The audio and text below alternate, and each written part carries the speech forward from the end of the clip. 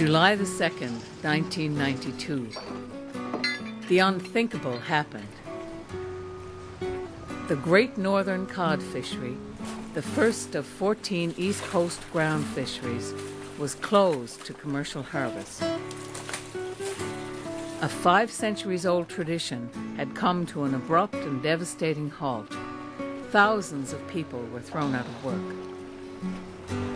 Coastal communities and the people depending on these resources for their livelihood were numb with shock.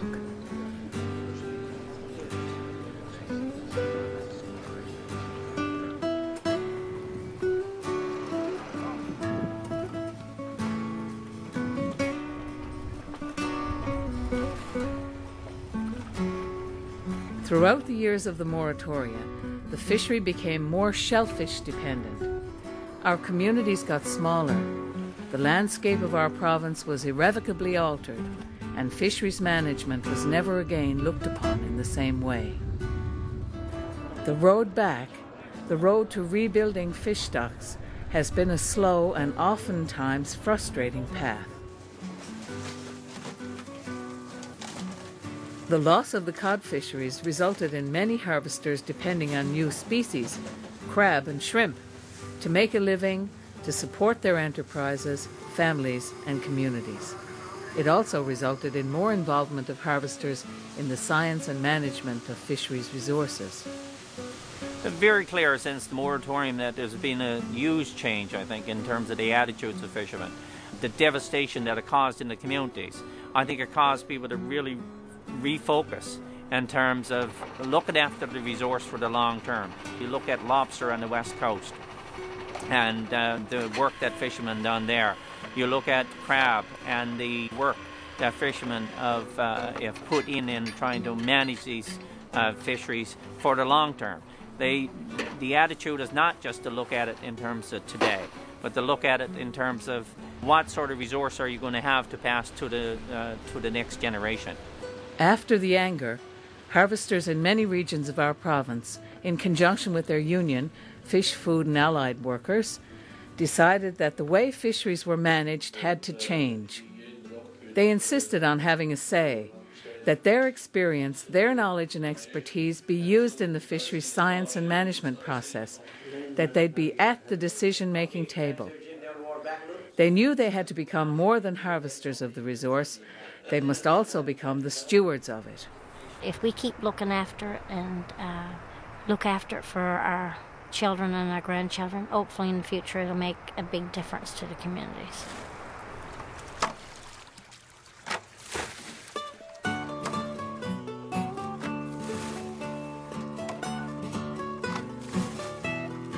It started in 1993 with lobster harvesters on the west coast many of whom had also fished cod. They realized the closure of the cod fishery placed added pressure on the lobster resource, so they took a more active role in the conservation and protection of that resource through such measures as V-notching. So a lot of times you got to turn them over just to see, make sure they're V-notched or not. People got to start looking after the resource, and I think it is, it's reality. They got no choice but but do it. They got to look after it, or else that's it. It's over, and then you got to move away. Your children got to move away, and no one around here wants to go away. It was also natural that harvesters wanted to be part of the rebuilding of the cod stocks. This led to a Cod Sentinel program on the West Coast, a program designed to give harvesters an opportunity to use their knowledge and experience of the sea and its resources in the assessment of cod stocks. The Sentinel fishery started in, um, in 1994. Uh, it came about as a result of the, uh, the cod moratorium of 1992. Basically, lost um, uh, a whole range of scientific data that we collected from the commercial fishery. So Sentinel was developed to be sort of a model of the, of the uh, commercial fishery and recover some of that data loss. The program soon expanded to include the south and northeast coasts. By 1996, there were over 100 harvesters collecting, recording, and interpreting data, including the tagging, weighing, and measuring of cod. Their efforts have enhanced what is known about our cod stocks and have contributed to the reopening of the cod fisheries and in the ongoing dialogue about the health and abundance of these stocks. More than a decade later, the program continues to play a critical role in the assessment and management of cod stocks. The relationship between harvesters and the Department of Fisheries and Oceans has undergone a dramatic shift since the days before the moratoria. This partnership still has its challenges, but most agree working together is better than not. Without the start of the Sentinel program, I, I, I feel pretty strong that maybe we wouldn't have a, a commercial fishery like we got today in, in, in the Gulf of St. Lawrence. And in conjunction with DFO and uh, working together, and uh, I think uh, you know they've uh, the, the, the, results have, have uh, convinced the scientists to a degree that the fish, the cod, the cod are on the rebound. They're coming back, and I think the, the Sentinel fisheries played a major role in that. The relationship has improved uh, a lot uh, you find the scientists and the fishermen more willing to get together. You find the scientists on a number of occasions have come up and you know they meet in the, in the halls with the fishermen, hear their stories. Uh, we didn't see that before. Listen to their concerns, listen to what they say, what they're seeing out in the boats.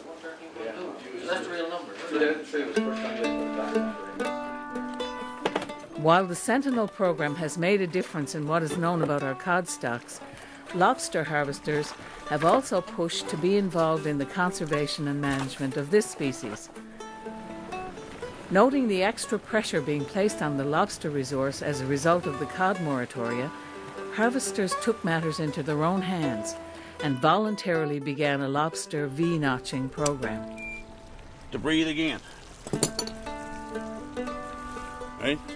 So now anyone gets that lobster next year, they're going to have to put her back.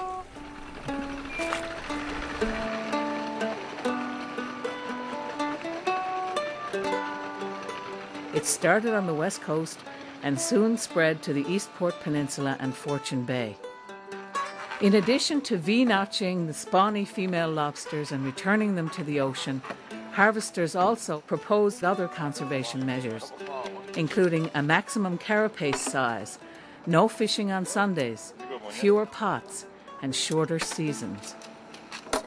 I guess the first decline when we seen seen at the lobsters was uh, when they shut down the cod fishery few years, uh, probably two or three years after that, you could see a, a drastic decline in the lobsters, and uh, I guess that's what it was due to. It was the fishermen put so much pressure, so much pressure on the on the lobster at the time because there was nothing else to go at, and, uh, gradually our lobsters come back.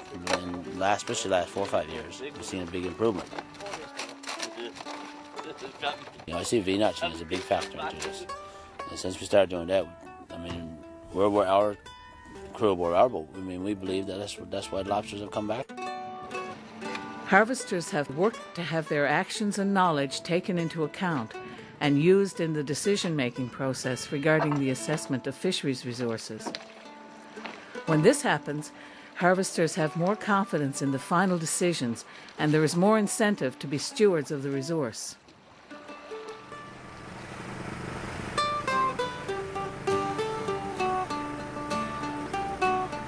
On the Eastport Peninsula, harvesters built on the shared stewardship model. They worked closely with DFO, and in addition to V-notching and using fewer pots,